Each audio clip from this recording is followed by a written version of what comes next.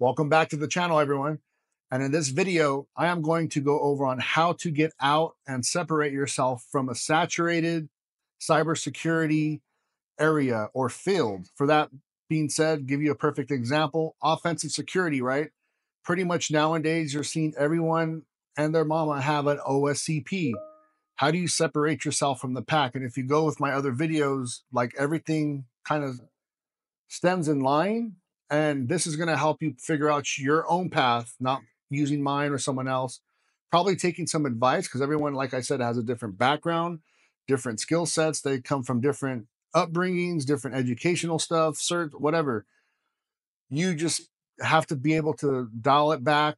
Don't rush in and pick what's best for you to not only get to where you need to build that foundation, but also separate yourself from the pack.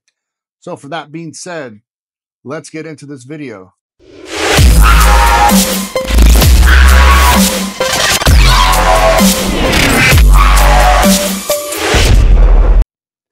So, as I was saying, how to separate yourself from the pack from a saturated uh, field or environment for that matter.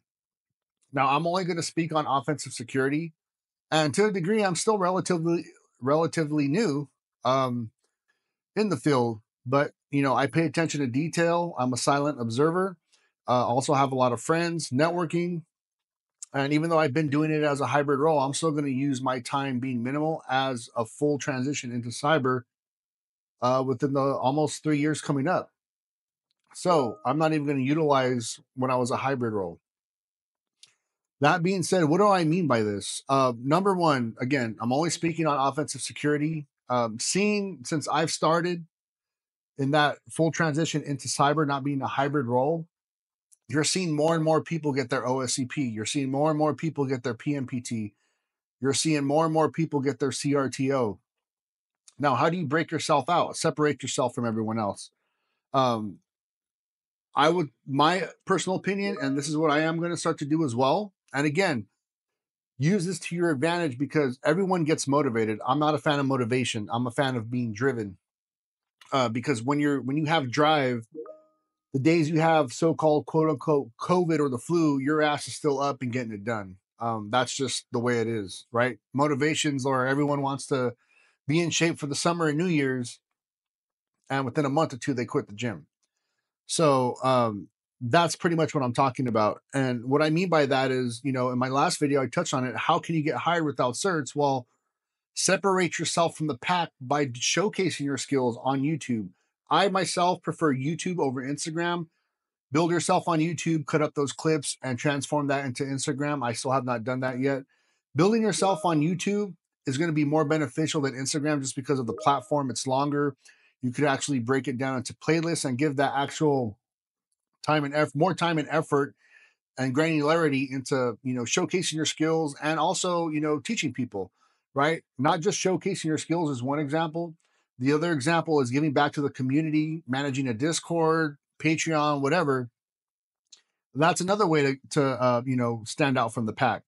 Not just getting these certs, right? Because once everyone has these certs, I mean, I, anyone could just go hire pretty much anyone on the street with the OSCP, and that brings in the business aspect, is where it's so saturated that it's also going to drive the cost down, right? Meaning your pay, your income is going to go down because everyone has it, right? So that's going to drive down the market where it's it's a higher quantity, more in demand. Uh, you know, you're obviously going to pay pay more, right? So that being said, the other way out of those two, the other way is become expert in a niche uh, field of offensive security. So that being said, you got your overall pen testing which you could technically break it out into two for web app, internal, external pen testing. Then you got your red teaming.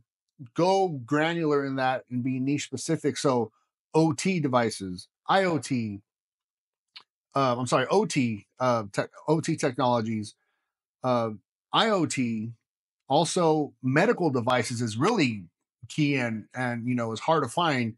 Uh, working on a on a cruise line or uh, you know a cruise ship line. I don't know the exact term, but those are, I mean, you got people that will push back on your ass from not even, they don't want you to touch that. And they require a person with expertise in that field to pen test those actual medical devices. for that matter. So, and that being said, there are only a few out there, so they could control their price in the market. Um, that's what I'm talking about. Also, RFID, NFC, um, you know, certain technologies, even if you're into tap and go, badges, physical, you know, physical pen tests, which is my niche, my skill set, because my background, that's how I got my foot in the door to officially transfer in, because my niche was physical security, not just from the technology aspect, guards, operations, investigations, and executive protection. So having that background and skill set, that was my niche and my way in. Now, um, that's you know obviously not the only one that I want to get into, but that's my way into transition into cyber without having an OSCP, but also now me building on my skills and going into payments, um, biomed, those villages. I learned a lot because that had not only was it interesting to me, but I got a firsthand to see, holy shit, that's a it's a bigger issue than most people think. And not only that, it's going to help me with my job currently because we have those on the on the ships. Um, also, you got car hacking. Uh, you got AI.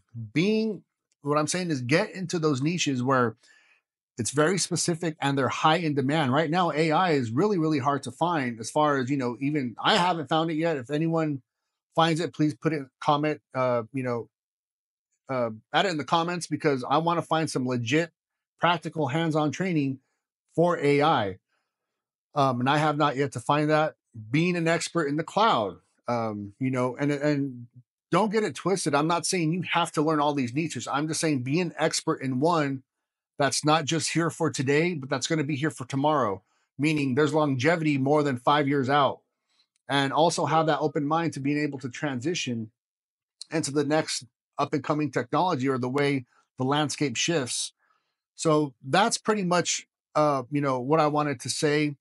Because if you look at my videos, the last three ones on certs, you don't need certs, how to break yourself outside of the pack that because certs are being saturated. Not everyone is going to do that. Not everyone's going to showcase their skills on social media. Not everyone's going to be niche specific. A lot of people are, and I see it more and more that they're just going to get that cert think that's the end all be all and be comfortable.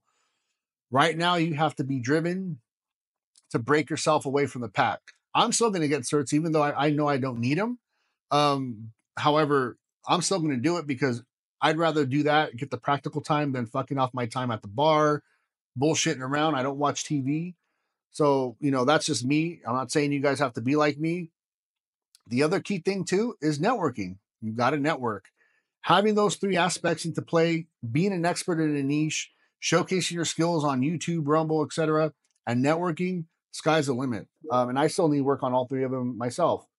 So that being said, um, that's this quick little video on pretty much how to break out of a saturated market. There's no tips, no tricks, no hack your way into the field. I mean, it's actually getting in there, doing side projects, working at some of these um, local conferences like B-sides, etc. Um, and and building your skill set in a specific area or field, right? Again, IoT, car hacking, um, OT, uh, medical devices, stuff like that. That's where you're going to not only be able to drive up your value and your market price, whether you go as an FTE, but also think about it as, you, as if you go on a consultant or have a side gig in offensive security pen testing now you could open up your own business, and I'm speaking for America. Uh, you could do it too. I just don't know how your tax code works in other countries, or you know if you even have them. But now you could leverage that, get all the tax write-offs and benefits of having your own LLC or or S corp or business, right? So because the market is very, it's high in demand, and there's not that many people and or companies that could do it. So that's one thing you also got to look at too, right? And then that's also going to build your network and you being able to showcase not your not only your skills to someone, but you're showcasing your skills to an actual company that you're doing work for, your client. So that being said, that's the video for today. Let me know if you like, or if you agree, please like, share, comment, and subscribe to the channel. Um, and yeah, let me know what you think in the comments. Have a good one, everyone.